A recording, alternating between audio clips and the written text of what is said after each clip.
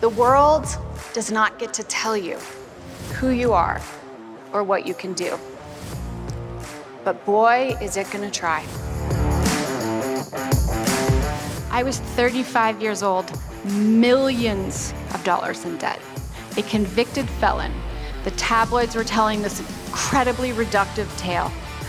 I was a social pariah, and I lived with my mom. But I have a deeper calling, and that is to talk about the lessons that I've learned in adversity. Because we all will walk through darkness. We will all walk through heartbreak. And sometimes we will have to reinvent ourselves after ruination. So, the first incredibly profound lesson that I learned, and one that I believe is foundational for any type of life well lived, is to make a choice passionately and then to make that choice relentlessly every day until it becomes your default mode.